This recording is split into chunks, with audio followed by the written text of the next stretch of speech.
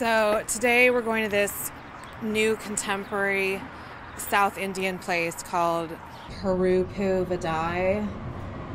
I don't fucking know how to say it.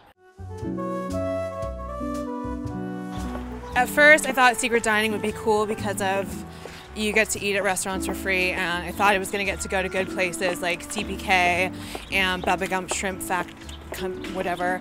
But mostly, it's just places I've never heard of.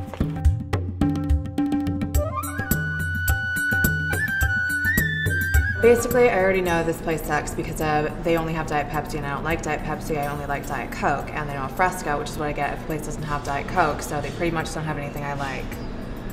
What? Are you ready to order? What's a doza? It's a thin, savory pancake filled with local curried onions and chickpeas. What's a chickpea?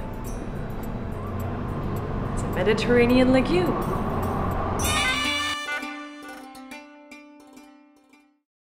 You know, um, we have lemonade on the menu. I know you have lemonade on the menu and it costs $4 and Undercover Diners only gives you a $15 voucher for lunch jobs and I want a fucking cream brulee. Excuse me. Um, should you really be filling that out here?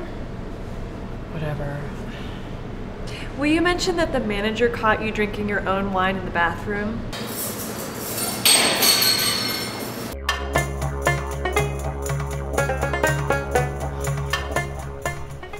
Basically, somebody should have told me that that place was really fancy because of I would have worn pumps. I've never heard of a fancy Australian restaurant or any kind of Australian restaurant, really. But it's just not the kind of place you think is going to be like tablecloths and things. Like every Australian movie I've ever seen, the people are sweaty and covered in dirt. I'm getting a rum and coke.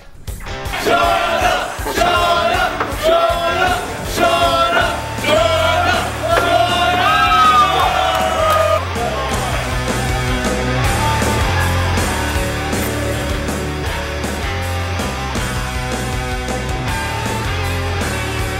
That's what I'm fucking talking about.